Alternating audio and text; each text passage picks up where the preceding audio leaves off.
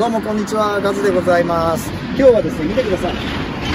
飯田市立上里小学校に今来てるんですけど、えーなんで来てるかというと、ウクレレをね、この上里小学校にですね、こう寄贈させていただいて、今度この、今年度から、えーこの上里小学校でウクレレの、えー、と希望教えてほしい希望者に、えーレッスンが始まるというすごいことになっておりましてですね今日は打ち合わせに、えー来ているんですけど担当の飯沼先生でございますけどなんと飯沼先生ここに僕が来る前にもうガズレレやっていてくださったということで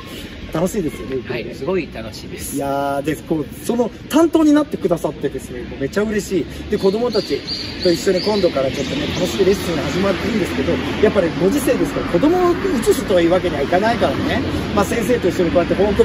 していけたらいいなというふうに思うんですけど、まああの僕のこう母校なんですよ僕生まれ育った小学校なんでなんかこう恩返しと言いますかですねなんか楽しく音楽できる子をねあのこの小学校で増えていったらいいかなと思ってまず第一歩ということで、えー上里小学校からスタートしていこうというふうに思うんですけどなんかねこの辺からこうワイワイ盛り上がっていくといいなと思うんですけどまず先生も盛り上がっていただいて、はい、お願いします。楽しみにしてます。楽しいですねで、はい先生もまたちょっとねまず初心者とはい、私も初心者です。はい、一緒にね、はいあの子供と一緒に盛り上がっていければいいかなと思います。よろしくお願いします。はいそんな感じでまた報告していきますんで、はい、はい、フォローしておいてください。さようなら。